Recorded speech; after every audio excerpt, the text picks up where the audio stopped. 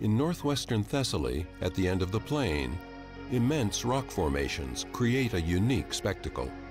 The forces responsible for the creation of the place that we all marvel at today have been the sky, the sea, the earth, and over the last thousand years, humans. Let's take a look together at the exciting life of the Meteora region over the centuries.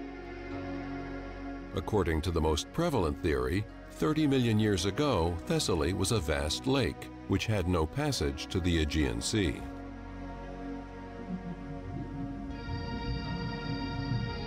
At some point, a violent geological phenomenon resulted in the opening of the Tempe Pass and in the flow of the water into the sea, a phenomenon responsible for emptying the lake and unveiling the fertile plain of Thessaly.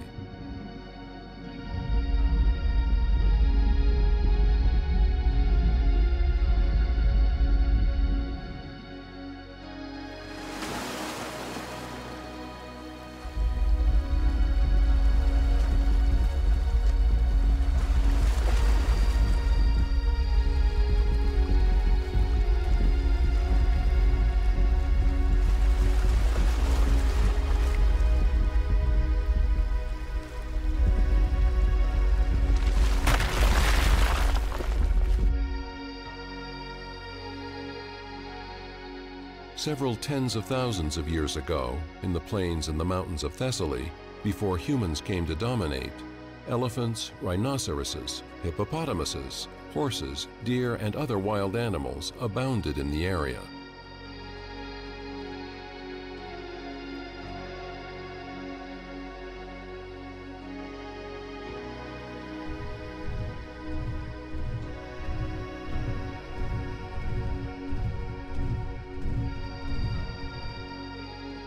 Large carnivorous animals such as the lion, the spotted hyena, and the wolf coexisted with the populations of herbivorous animals.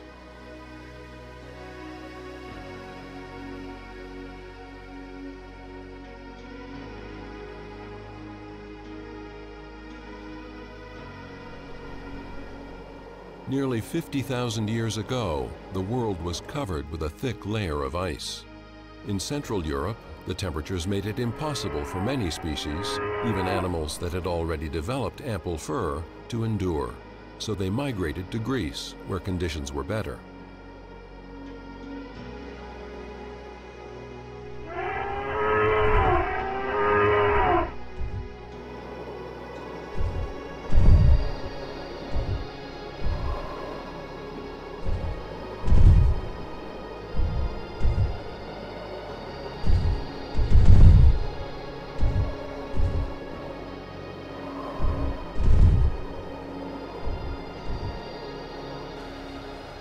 According to recent evidence, the area was inhabited by human beings 140,000 years ago, initially by Homo sapiens neanderthalensis.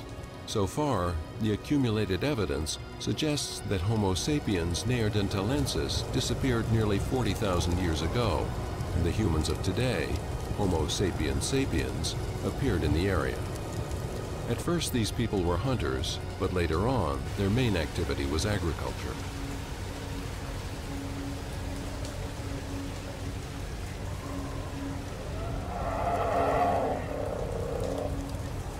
Cave bear, which was basically herbivorous, disappeared about 10,000 years ago, probably because of humans.